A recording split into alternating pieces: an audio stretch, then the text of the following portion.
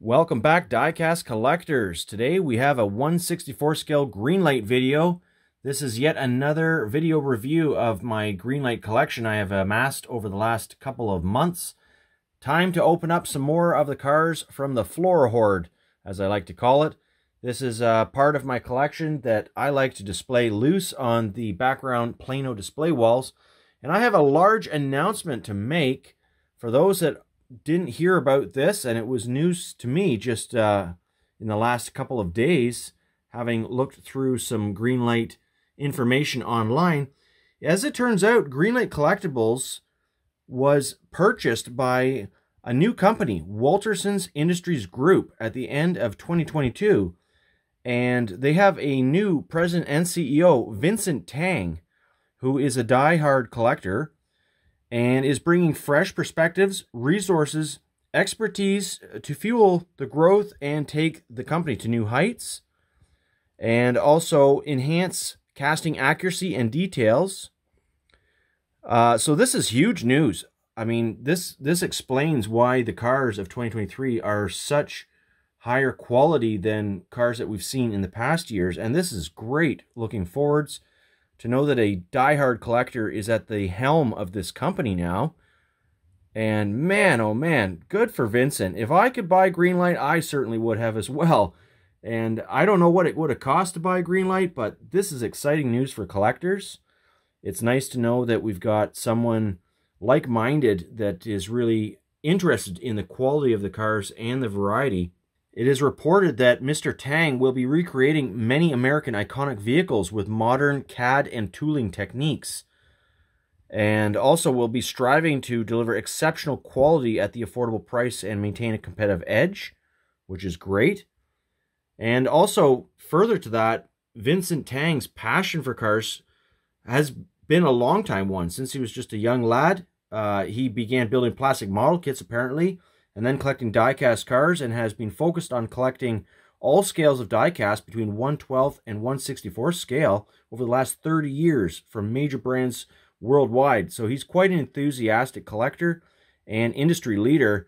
This is just amazing news, guys. I cannot, I can't even express how good this is to hear. And I see a very bright future for Greenlight at the helm of Mr. Tang here.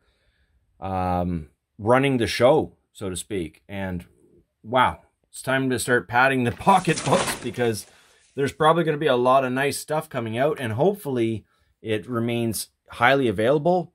It would be nice to see more availability in Canada.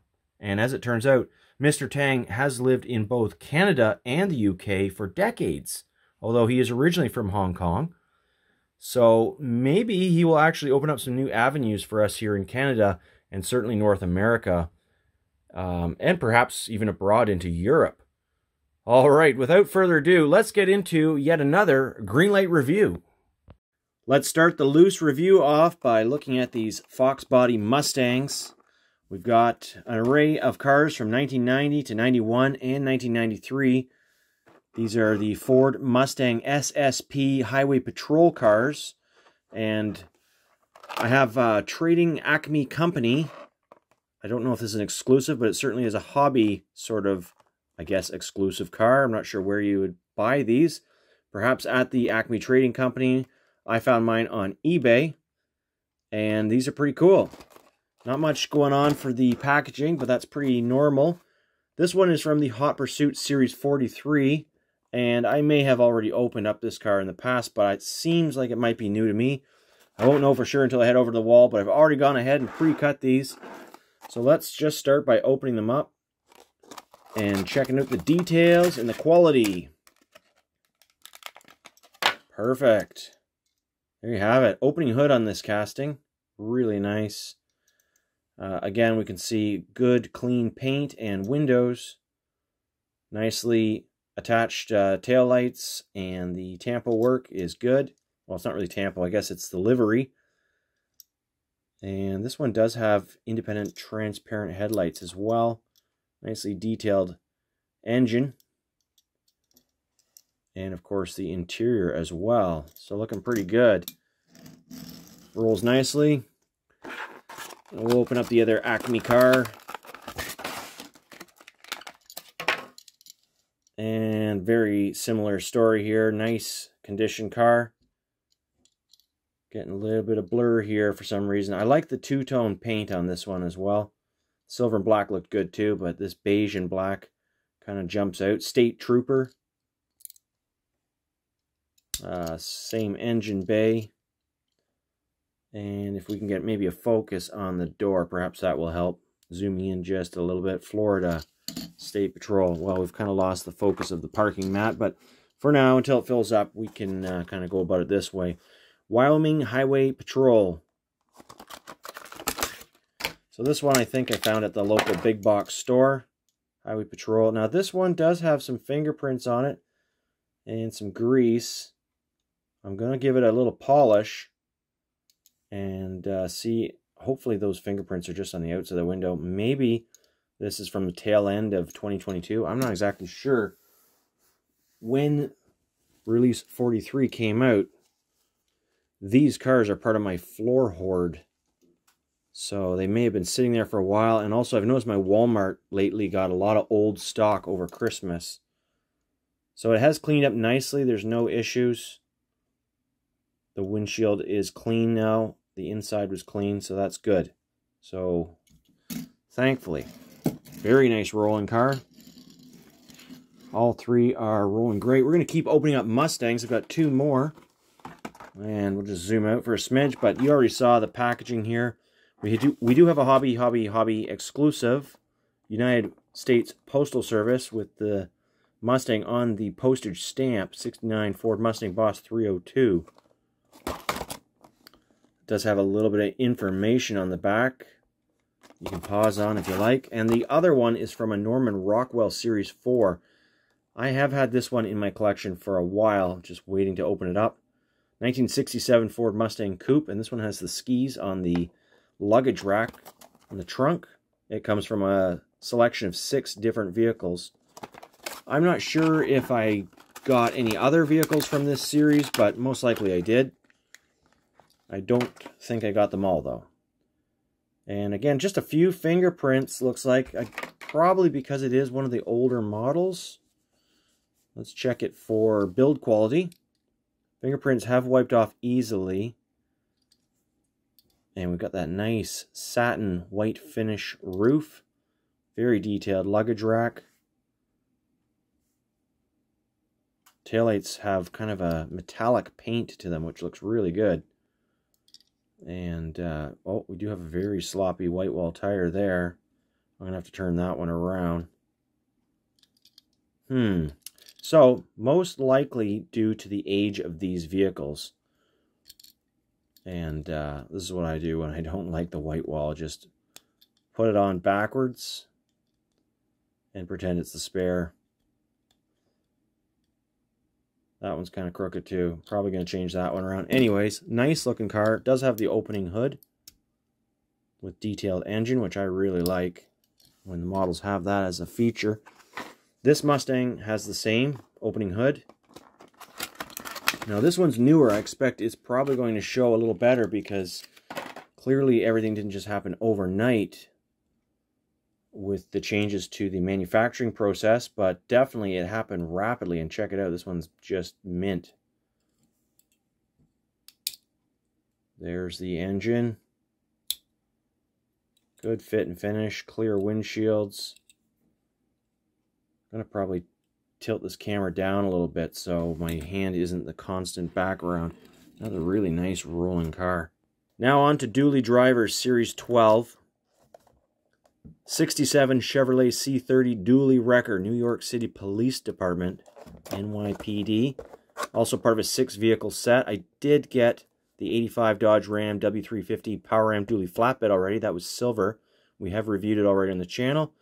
I must have picked this one up after that truck was purchased. The other ones I missed out on. There were some really good tire service trucks police trucks and uh, would have liked to get a few of those, but they sold out rather quickly, even at the local hobby shop for really a die cast. So here it is. This one is nice though. Vintage tow truck. Uh, that seems to be working out a little better with the focus now, so that'll be better for the filming. Separately cast hood and very clean model, of course, being one of the newer ones, newer releases. Looks really good. It's got the true dualies, and look at they're pretty straight, which is hard to come by. I've noticed on some of the newer models as well, they've gone away from these little white serial number stickers, this being uh, the truck was number 1160 off the production line. And they have, Greenlight has gone to a print, I believe, on a lot of the models. So I've set up a few cars in the background as well. Those are going to be bonus cars. They're actually more Norman Rockwell vehicles, Series 4. So there's two more. And I've got a couple Hollywood Stuntman vehicles as well. Those will be at the end of the video. Now we're looking at Gulf Special Edition Series 1. Nice graphics. Looks like the Big Sur, perhaps. Uh, California Highway. Correct me if I'm wrong. 71 Nissan Skyline 2000 GTR with the Gulf livery. This one has an opening hood and very detailed engine. Uh, six vehicles in the selection. I chose to get two. I did miss out actually on the Dodge Ram D350. Would have liked to get that. And uh, yeah, I think I saw the other ones available, but since I couldn't get the Dodge, I didn't even try to complete the series. And the Dodge was going for quite a bit on the secondary market, so not worth buying that on eBay. So right off the bat, I saw a little bit of a greasy film on the windshield and perhaps on the back window. Again, these are probably been sitting on the floor for a couple of months now in my collection, and they're probably even older than that. Oh, what's going on here? I'm sure this hood opens. Yeah, I cannot get it open, though. Ah, of course. Of course. Forgot all about that. It opens the other way. Hmm, being a Nissan guy, shame on me. Look at that. Super nice detailed engine. Just incredible. This is probably one of the most detailed engines of the Greenlight models. All those different paint colors in there. Skyline. Well, I don't own a Skyline in real life, so forgive me on that. And it rolls just like a Hot Wheel, I would say. This one is an absolute beauty. 64 Chevrolet Impala SS. So this was Series 15 of Running on Empty. So this is not the same series, just Gulf and Gulf. Running on Empty Series 15. I have another vehicle from Series 16 that we're going to look at. So these are just kind of the random cars I found along the last few months of shopping and not necessarily part of a complete selection or series of the six vehicles that I try to get when I really like the whole collection. Although less and less I do that, not because I don't like the collection, but simply because I can't afford everything and don't have the room for it. And also, I've got a lot of castings already that are in repeat with different paint jobs. Now, check out these Blue Wall Goodyear tires. Very nice. Great details on this car. Love this casting. Another really nice rolling car. And here we go, Series 16 running on empty. So what vehicles were available in this? Dodge Ram D150. I did get that one. That was the big white lifted Dodge Ram. Uh, I don't have it handy, but anyways. And this one here, yeah, had some other good cars in there as well. Regardless, these are the ones we're looking at today in this video some flamage. Got flamage on the truck. Little bit of windshield grease. Again, no fingerprints on the inside, which is the big awesomeness thing. Because in the past, years past, before the new ownership of Greenlight and new management, there were gluey thumbprints inside the windows on a regular basis that you just could do nothing about. And uh, they look pretty bad. But I haven't seen any of those now which is great. Still going with the stickers on the serial number, so transition pieces, as I like to call it. We are into some Shell Special Edition cars. I've got three. We'll start with the 1978 Volkswagen Rabbit. And this one has, I believe, an opening hood and a detailed engine. There's the whole lot. Missed the 67 Chevrolet C30 Wrecker. That would have been cool to get. Um, didn't collect the two newer Mustangs. Well, actually, that's a Ford GT. That's not a Mustang, but just wanted to get the uh, older models.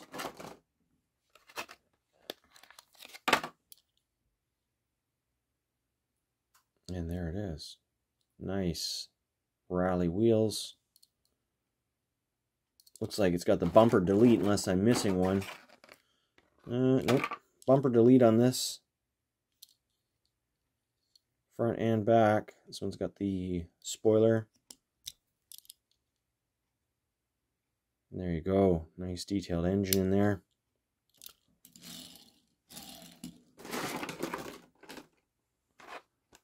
Two left here before we're into bonus round. 2001 Nissan Skyline GTR. Shell V-Power. Still Series 1. Just so many new series to collect. It's uh, it's a bit challenging at times to decide what to buy because everything is so nice. Um, and I do like all models of cars, so that makes it particularly difficult for me. I don't think this one has an opening hood. Doesn't look like it, but it is separately cast. Nice clean windows again. And we've got the mirrors cast right onto it. Look how small those mirrors are. Really nice that they were able to get those in there and well proportioned for the vehicle. Disc brakes are even painted in behind those five spoke aluminum wheels. Another roller. Now we've got the 96 Ford Escort RS Cosworth.